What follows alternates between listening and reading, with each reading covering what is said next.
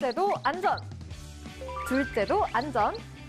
현대차 그룹은 안전한 근무 환경 조성을 위해 최선을 다하고 있는데요. 현대차 그룹의 오피스와 공장 근무 환경을 관리하는 현대 엔지니어링 자산관리 사업부에서 전국 41개 통근버스 협력사를 대상으로 안전운전 인증 획득에 성공했습니다.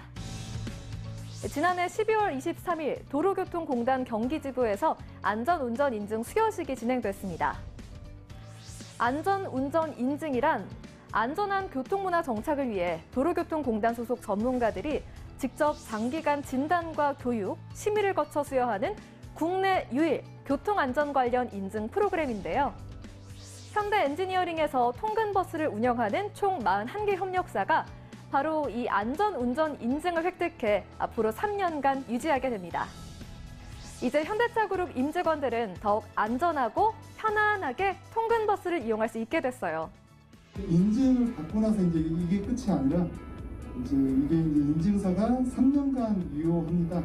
그 유효한 과정에서 매년 이제 교육이라든가 현장 진단을 좀 추가적으로 받아야 하고 이걸 좀 계속 유지해 주시고 3년 이후에도 또 우수한 성적으로 좀 채워서 인증을 좀 받을 수 있었으면 좋겠습니다.